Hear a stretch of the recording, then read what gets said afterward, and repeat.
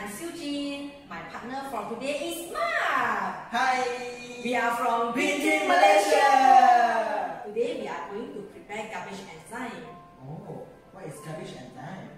Garbage enzyme is a multi-purpose liquid that is produced from the fermentations of organic waste. Mm. So what is garbage enzyme used for?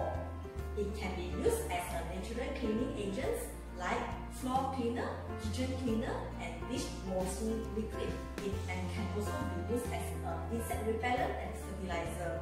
Wow, interesting. Yes, it can be easily made at home.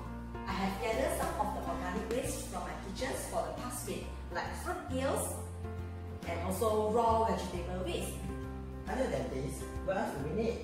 We need brown sugar and water as well. So can we start now? Sure,